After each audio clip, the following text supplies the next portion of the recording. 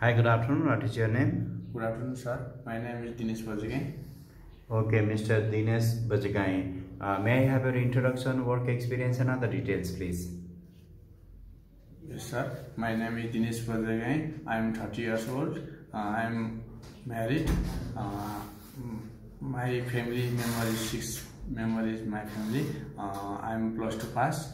Uh, my my uh, is watching movie, play football, uh, traveling. Mm, my work uh, experience is five years work uh, experience as a factory worker, unskilled worker in Nepal. Okay, Mr. Uh, Dinesh Bajagain. Tell me, where do you want to go? Which position you are applying for? Which country and all?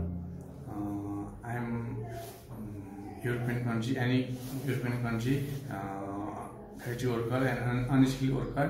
Uh, Okay, so you are ready to work as a factory worker, unskilled worker in any of European countries, right? yes, sir. Okay, can you do loading and loading? Yes, sir. Can you lift the weight up to 25-30 kg? Yes, sir. Can you do the cleaning and removing of garbage? Yes, sir. Can you separate the waste management? Yes, sir. Okay. Are you uh, medically, physically and mentally fit? Fit. Yes, sir. Okay. Would you like to stay there for a long time? Yes, sir. Okay. Do you have any uh, friends or relatives staying in any of European countries? Yes. No, sir. Sorry?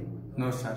Okay. So you are ready for any hard work, any challenges, any job there, right? Yes, sir. Okay. Also note you need to complete your contract agreement with the company or sponsor for two years. Can you do that? Yes, sir. Also, you need to follow the company rules and regulations, company policy properly while working there in the company or any industry. Can you do that? Yes, sir. Okay. Thank you.